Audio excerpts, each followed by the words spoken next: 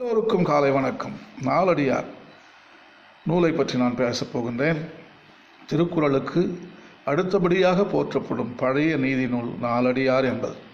அது நான்கு அடிகள் கொண்ட வெண்பாவல் ஆகியது. ஆகையால் அந்த பெயர் பெற்றது. நானூறு செயல்கள் கொண்டது திருக்குறள் இரண்டு அடிகளால் ஆகியது நாலடியார் நான்கு அடிகளால் ஆகியது.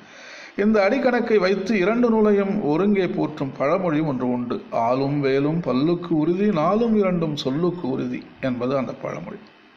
இந்த நூலின் செயல்கள் பலரால் பாடப்பட்டவை. இவை பாடப்பட்டது குறித்து பழைய கதை ஒன்று வழங்கி வருகிறது.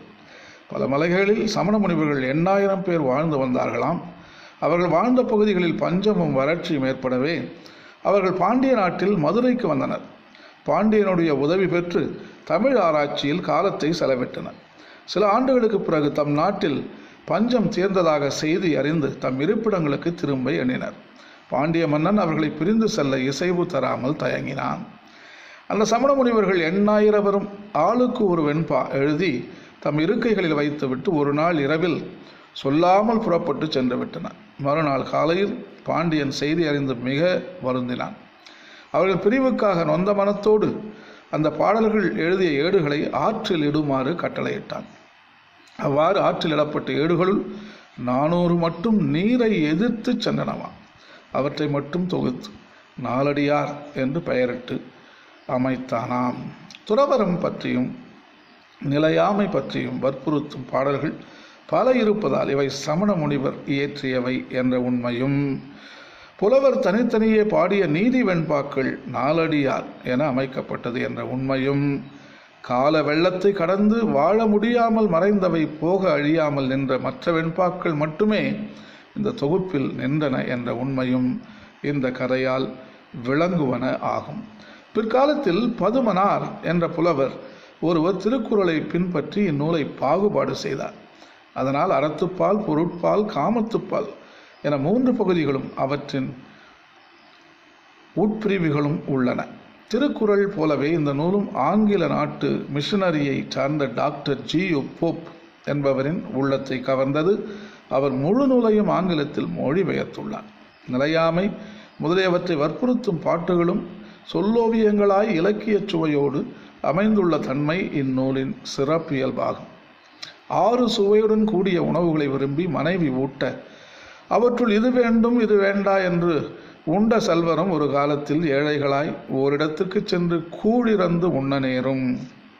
ஆகையால் செல்வம் ஒரு நிலையான பொருளாக கருதத்தக்கது ஆகாது.